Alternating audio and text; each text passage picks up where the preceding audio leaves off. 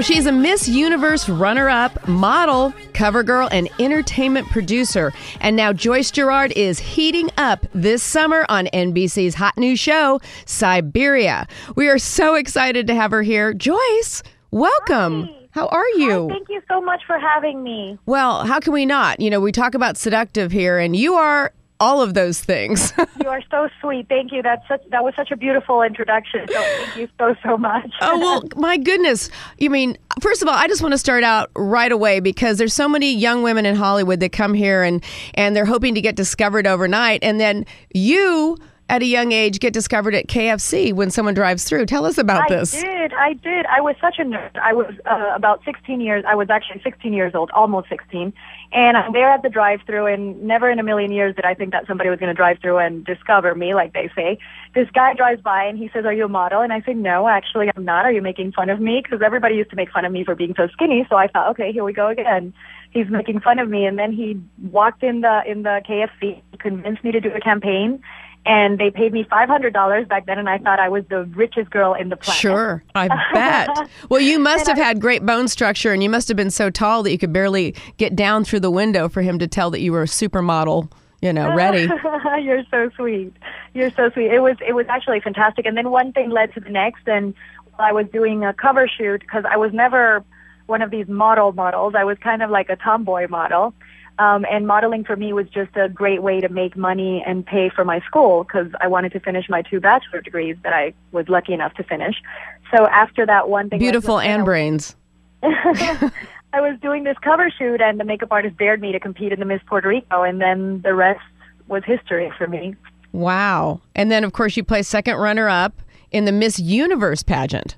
Yes, I was second runner up. It was a great experience. I think it was actually one of my proudest moments, besides the moment where I married the love of my life and the moment where I had my beautiful children. I think my proudest moment in life has been to be able to stand on a stage and say, "Hi, I'm Puerto Rico," you know, because it's it's where I was born and it's so much pride running through your veins. It, was just an incredible moment that I will treasure forever in my heart. Well, I'm so glad you met the love of your life because we love love here at the Moll House.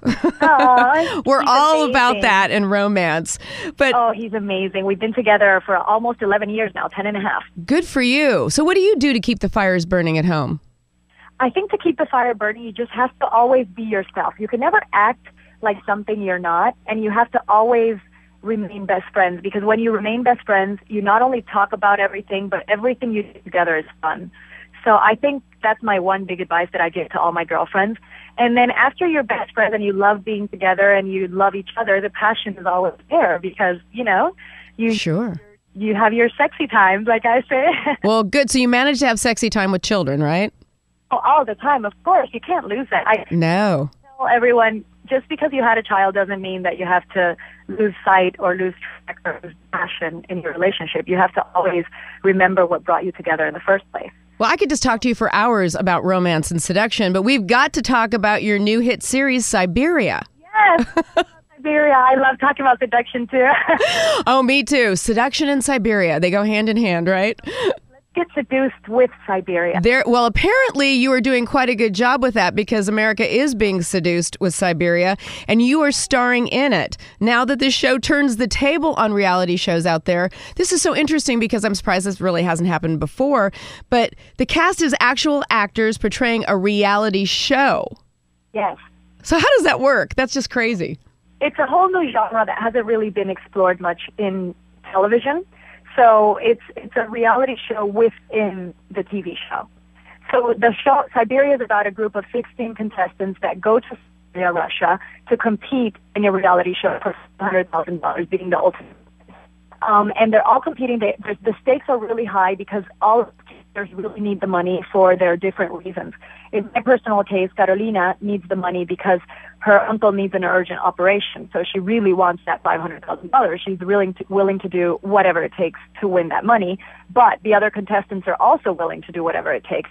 So everything, the, the, the big premise of the game is that there are no rules. So all is good until they realize that they're dropped there in the middle of nowhere and that producers have abandoned them and now they're lost. Wow. Well, if you're just joining me, I'm visiting with the hot new star of Siberia, Joyce Giraud. Okay, so now that you've portrayed this reality character under these conditions. Do you have a little bit more empathy for the people like on, you know, these shows where they get dropped in the middle of nowhere for real? no, I think I everybody asked me, would you do a show like this if it was real life? And you know what? I think probably under my circumstances right now, where I have two children and I'm happily married, I wouldn't, wouldn't go and dropped in the middle of nowhere. That said, one of my kids needed an urgent operation and I didn't have the money, I would go and do that show in a heartbeat. Sure. So I think that it all depends the circumstances that people are doing it for. I wouldn't do it to become famous, which is the reason why a lot of people go on on these shows. I wouldn't do it for the fame aspect of it, but I would definitely do it if I needed the money and the grand prize is, is money that I really need for somebody that I love.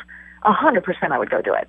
So at this point, your experience when you get out there into the wilds, I mean, you still are going to experience some of the same things that the reality shows actually experience because of the weather conditions and whatnot. I'm, I'm sure you're running into bugs and snakes and all kinds of things. It was the craziest thing. On day one of filming, I stepped on a frog and twisted my ankle. Oh my gosh. It was honestly, it was the most brutal circumstances I've ever been in any shoot. Oh my gosh. Swim with snakes and with shrimps going and fishes going through my legs. Not to mention homicide on a frog.